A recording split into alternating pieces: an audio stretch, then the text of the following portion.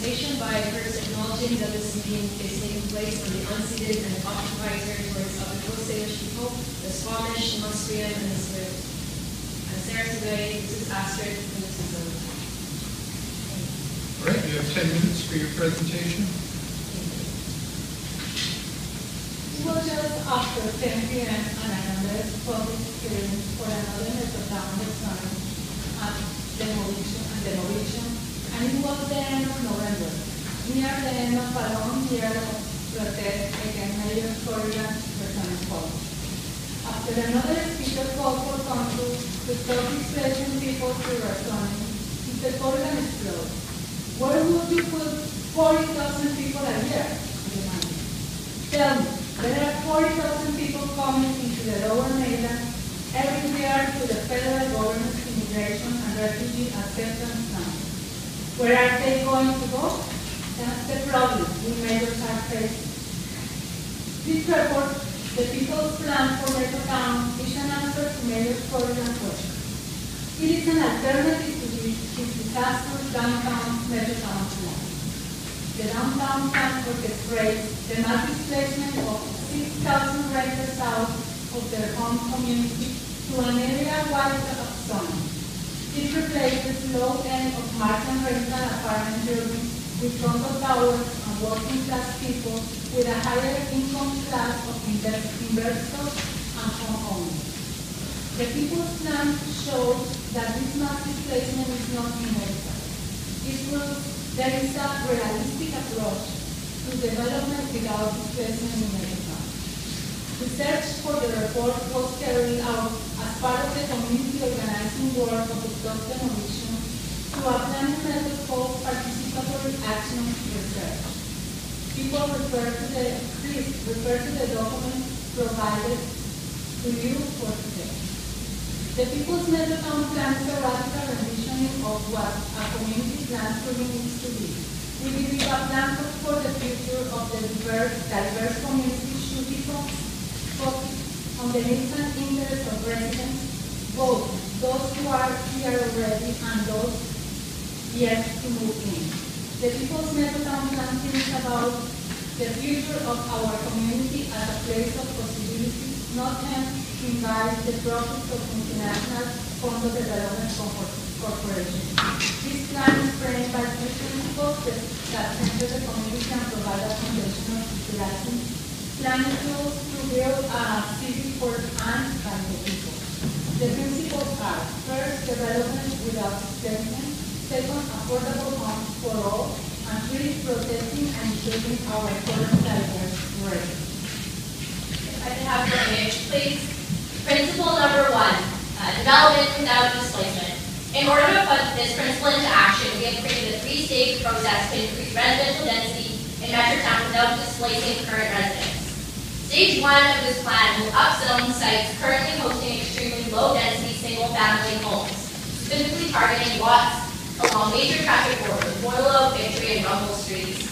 Rezoning single-family homes yields the highest ratio of increased density per lot, while developing your traffic corridors falls within the Metro Vancouver regional growth strategy. Single-family homes along these traffic corridors are valued at very high prices. The government buyout would greatly compensate owners to be able to find new, similar homes in the same or other areas. These lots can, if rezoned, be combined or redeveloped to host a townhouse or mid-rise tower that would have upwards of hundreds of, of hundred residents.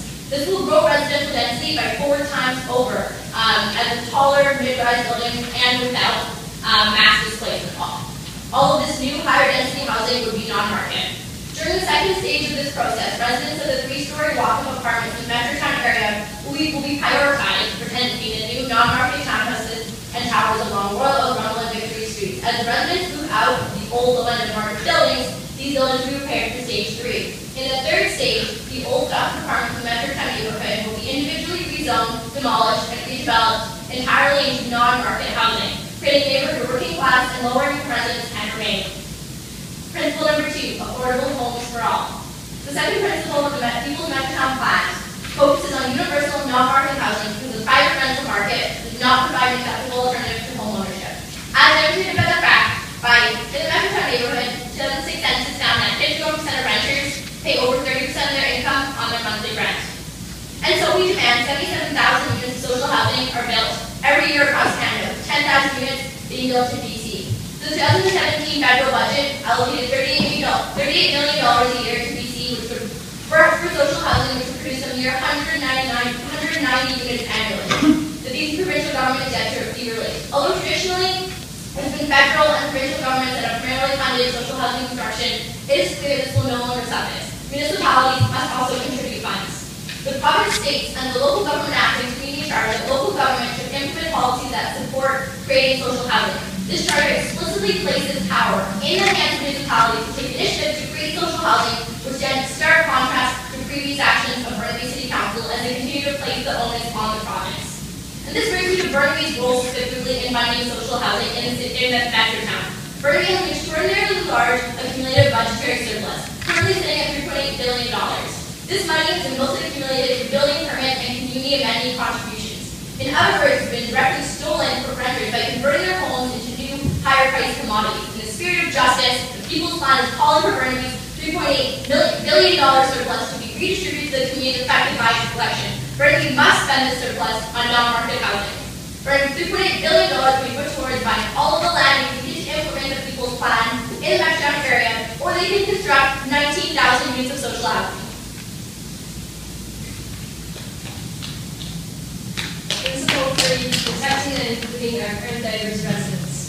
To protect and include our current diverse community, the People's Plan includes provisions to prevent the displacement of residents from their apartments, deepen our community appreciation and embrace the differences between us as our greatest point of unity, and to develop resources and services to secure and amplify the involvement um, of community members. In this regard, our two most important policy recommendations for the city of Burnaby are implement an eviction defense policy and to implement standard maintenance bylaw.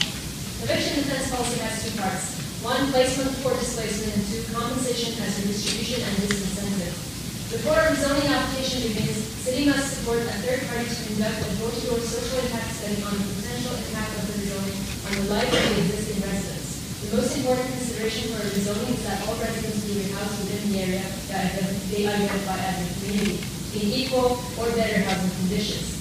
If the impact of the result cannot be offset, then it should not be permitted. Compensation should work as a form of redistribution of landlord profits. As a, as a disincentive to rezoning renting, compensation should be tied to average rent increases suffered by those evicted. As well, eviction defense should include a city program of long-term monthly rent subsidies to bring new rents down to their previous levels. Standard of maintenance. When developers buy buildings, tenants report that their new landlord stops spending money on maintenance and repair of the apartments. This performs two functions for developer landlords. They save money they would otherwise spend on regular maintenance, and they run down the building so it, so it appears dilapidated or past its lifespan when the rezoning application goes before council. Burnaby enables this abuse because the city does not have the standards of maintenance bylaw. Vancouver, Surrey, and New Westminster all require landlords to maintain their buildings to livable standards.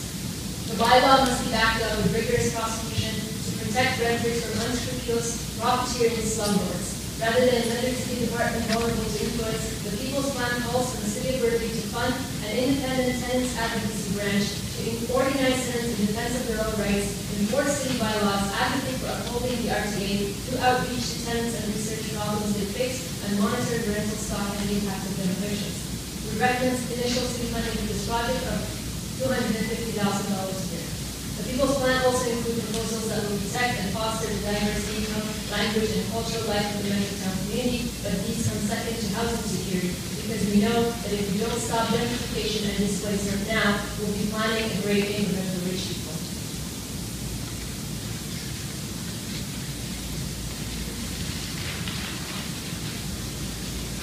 Lastly, um, it is vital to protect current affordable housing. Independent reports re- from both Vancity Credit And Union both issued in 2016, call for municipalities to stop, step up and stop the loss of low-end market rental apartments. And so the People's Plan also calls for an emergency municipal and provincial laws to designate low-end market rental apartments as a protected form of housing without other demolition unless they are replaced in advance by an appropriate range of non-market housing. Thank you very much for your presentation.